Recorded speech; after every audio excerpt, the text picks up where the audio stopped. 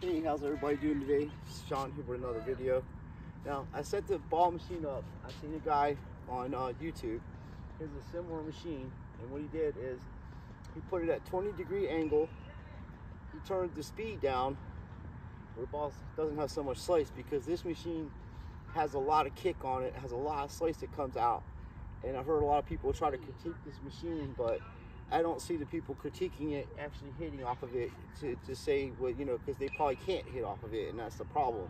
It does take some time to get used to that slice because unless you're playing in a 4-0 or 4-5 level and you're playing people at that level, college players and stuff, they hit with a lot of kick and a lot of spin, it's something to get used to.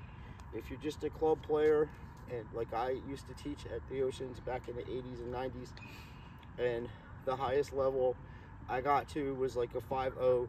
I was actually rated a 4-5, but I was playing in the opens, the 5-0 opens. I actually won a doubles match, and I came in second place in singles, and I came in first place the first year they did it in singles and doubles. So I had to work hard. I've always had to work hard at things that I do when it comes to sports, except for football, baseball, and surfing. It all just surfing just came naturally natural to me um, regular footed. I spent my whole life, you know, from the time I was about nine to 10 years old out in the ocean, you know. And then I started picking up tennis when I was about 16. 15 or 16, I started actually playing a lot with my friends, and then we started playing in tournaments, and then I got a job at the Ocean Racket Club, and then I got some lessons and stuff like that. But right now, my level of play is, is not as good as it used to be. I hadn't played in 22 years, almost 24 years, and I started playing about nine months ago. So since I've been playing, I've lost 35 pounds. I'm getting my diabetes too under control. And I'm working with this machine. I uh, saved up and bought it. And it was on sale for 650 at the on their website. Now I don't work for Slinger or none of that stuff. I'm just telling you it was affordable. It fits in my Chevy. I got a little Chevy H uh, HR or whatever they're called, the little square cars. I just got that. So I've been working hard and saving my money to buy the things I need to, to, to get better at tennis and to play other people. And what I do is I come out, I jump a little rope to get my legs going because I have two hip replacements and a plate in my shoulders. I get my body warmed up. Then I'll practice serves, which I showed you in other videos. Uh, what I do is practice my serves. And now we're gonna. I have this machine set up to where it's gonna hit short balls because every every level that I've seen play, even during these people at, at Monday, Wednesday through Friday, you have some four or five, 4-0 players in that league, and some of them could even be 5-0 players who just can't move because they're up there in their age. But um, the most problems I see, besides easy volley, missing easy volleys, and some easy overheads, is the short ball. So that's something you have to work on and you have to get used to that. So let's try this before this rain comes because I got a storm coming. So we're gonna try this. I don't know exactly where the ball is gonna land. I'm assuming it's gonna land in this little area here. So we have a little rainstorm. It's not too bad as of right now. So I'm gonna try to get some practice in and uh, see what I can do. We'll play a little bit back and see see where the ball bounces. I'm assuming it's gonna be right in this area because I got it leveled up. It's at a 20 degree angle. See, it's a short ball. That's perfect. And that's what you want to work on. You can actually, uh, you can actually get it, um, turn it up a little bit more. But as they say, the short ball is where people have problems putting the ball away, but they're aiming, and I'm not trying to hit hard. I'm just trying to move the ball around. Get that out wide, but that's a good shot. Down the line again. And cross court. And middle of the court. Come on, baby. Don't stop now. Let's go. We gotta beat the rain. You can try a drop shot. But try to keep working on the things you need to work on. You need to work on those last two shots. And the ball's a little flat. We got some flat ones.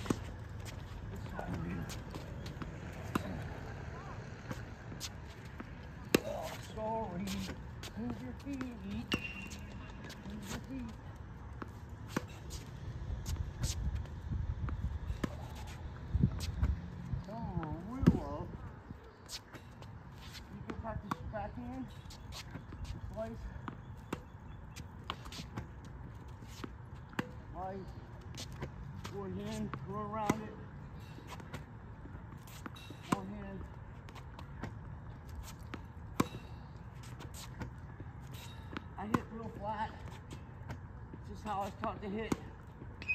And I win a lot like that. And I also, if you're off, your time is off, you can miss a lot of shots. Just for doubles.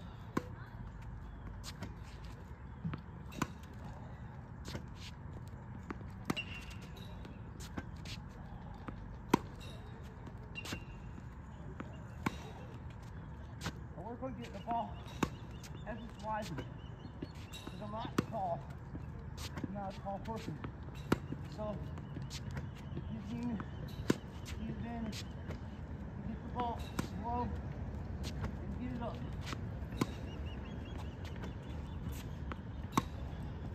This will work out. You have to move your feet at every level. You have to be able to move your feet. If you can't move your feet, tennis is dead man. You're gonna be a sitting duck. I'm gonna try that shotgun. Try to go for that corner. There it goes. Let's aim for that. Aim again over there. Right in the corner. Yeah, I don't have much top. That's better. That's better. That's weight. That's weight.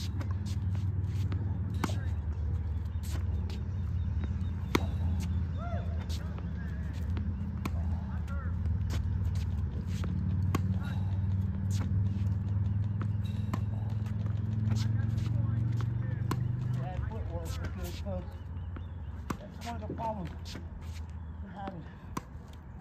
So bad. Come on. For fuck's sake.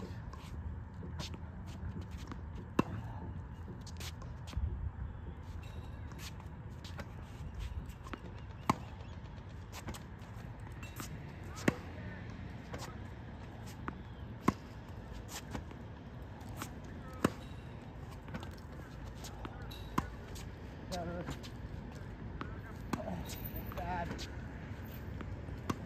Bad. Bad. Better. I've never hit the swing backhand in my life.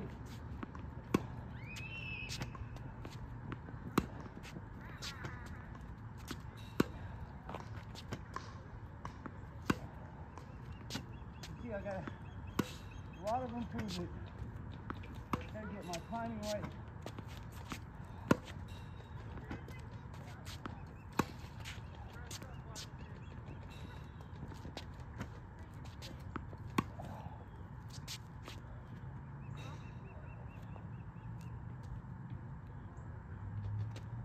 I don't know if there's any more balls coming, but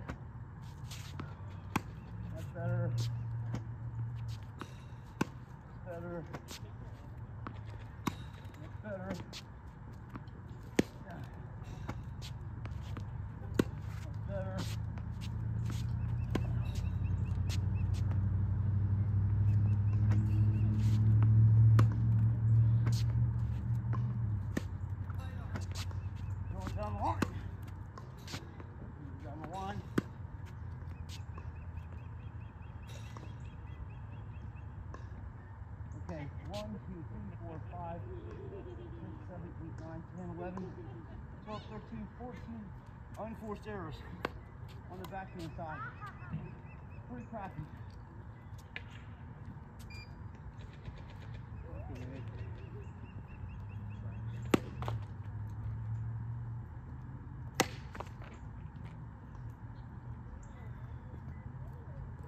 This Pisses me off. This all could be avoided just with good footwork. Wouldn't be hitting the ball into the net like that on the backhand side. The forehand side, I'm not too mad at. I got a lot of shots in, but with poor footwork, just not moving to the ball, not bending my legs to hit that backhand. You have to bend your legs to hit good shots. You just have to. And I know that. And then when I get a chance to set up correctly, I hit a nice clean backhand. And that used to be one of my stronger shots. And now, with shitty footwork, you know, my backhand slice is pretty decent. Thank God for that. But, you know, if I want to get back up to a high level, I can't have balls on this side of the net here. It's fucking ridiculous and it pisses me off because I know I played much better than this. Thank God I played better than I practice. Because right now, the way I'm practicing is complete fucking trash. Sorry about my language, but it irritates me. This is not, this is uncalled for.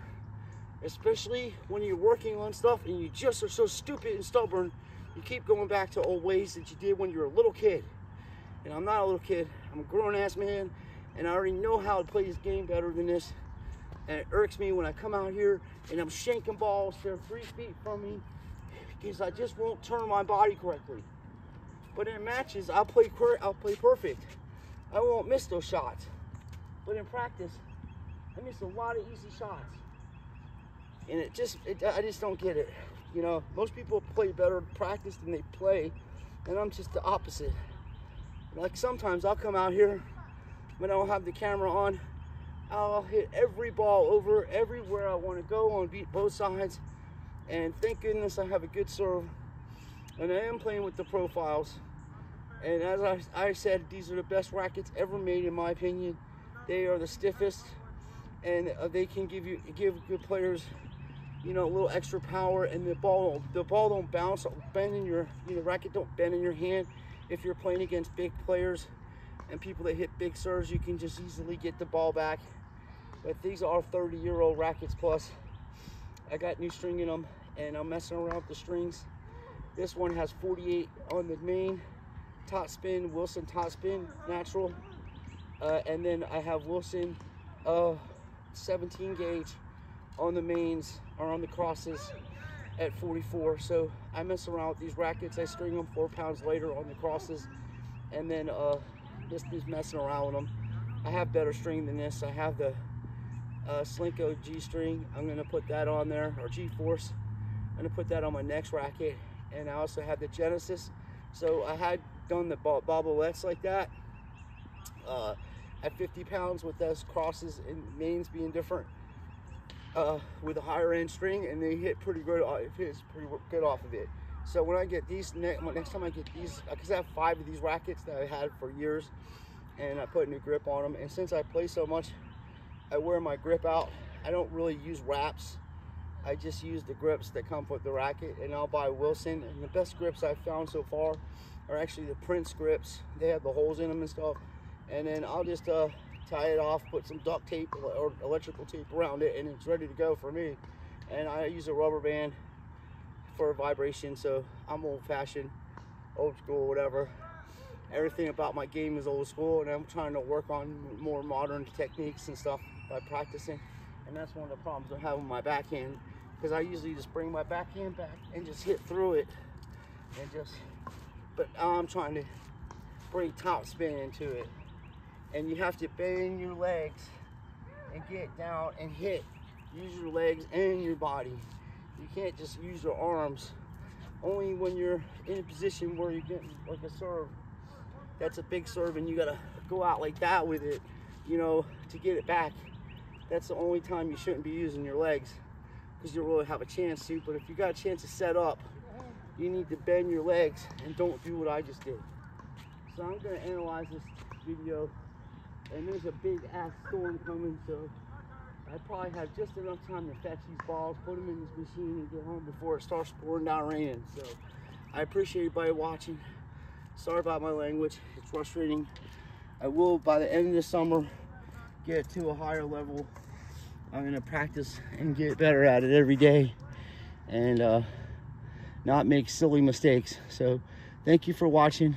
God bless everybody and I appreciate your support for those who watch my videos and give me support. Thank you, Nathan and Stefan. And uh, there's been good matches on on YouTube, so I've been at home checking it out. So thank you so much for everything, and I appreciate your time. And God bless everybody here.